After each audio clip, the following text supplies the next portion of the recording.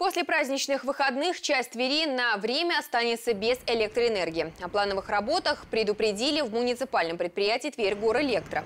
Специалисты будут проводить замену аварийных опор и проводов на воздушных линиях электропередачи, электромонтажные работы на трансформаторных подстанциях, опиловку ветвей деревьев к охранной зоне воздушных линий.